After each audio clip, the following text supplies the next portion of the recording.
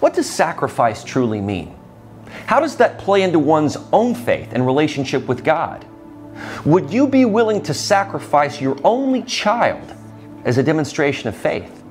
All of those questions are answered in the upcoming movie His Only Son, set to hit theaters across the country on March 31st.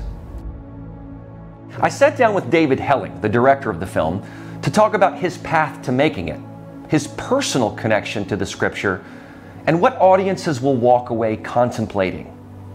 His only son rose concurrently with the making of The Chosen and also used its crowdfunding platform, Angel Studios. Take a listen to David's testimony and calling to make such a film. Watch now at epochtv.com forward slash The Bo Show.